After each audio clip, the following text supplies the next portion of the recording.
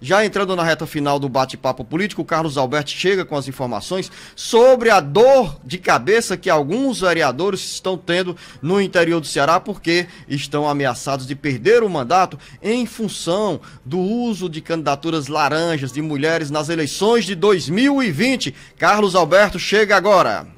Vereadores de cidades do interior do Ceará que foram eleitos em 2020 e acabaram sendo beneficiados pelos votos atribuídos a mulheres candidatas laranja devem ter mais motivos para preocupação.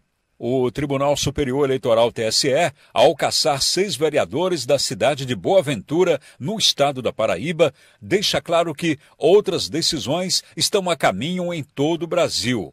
O que chama atenção no caso do município paraibano é que os eleitores precisam voltar às urnas para eleger os nove vereadores do município, porque, pela legislação eleitoral, mais de 50% dos eleitos em 2020 tiveram os mandatos cassados por fraudes à legislação eleitoral.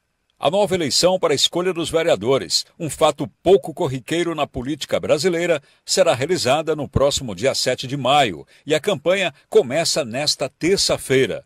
Existem no Ceará ações tramitando na Justiça Eleitoral, com o pedido de cassação de mandatos de vereadores dos municípios de Alto Santo, Baturité, Cascavel, Crato, Iguatu, Maranguape, Pacoti, Quixadá, Quixeramobim e Sobral, por envolvimento com as fraudes nas cotas para candidaturas de mulheres.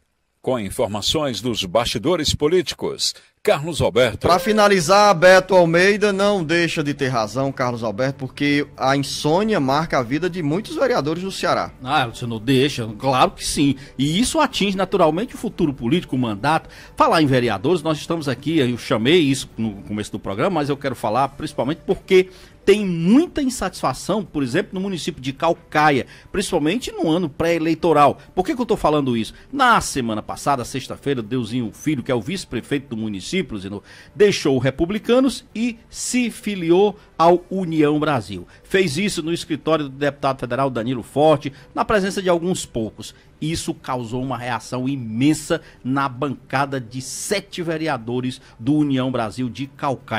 Eles saíram com uma nota simplesmente dizendo o seguinte: que foram desrespeitados, que foi uma profunda decepção a forma como foi feita essa condução do Deusinho Filho para comandar o partido no município de Calcaia e que eles não haviam sido sequer consultados sobre essa hipótese. Isso mostra claramente o quanto o ambiente vai ficar ainda mais tenso. A nota é assinada pelos vereadores Vanderlan Alves, Elzinha Góes, Carlos Henrique, Gilberto da São Francisco, Camila Cavalcante, Dalila do Garrote e o Citoim da Sucata.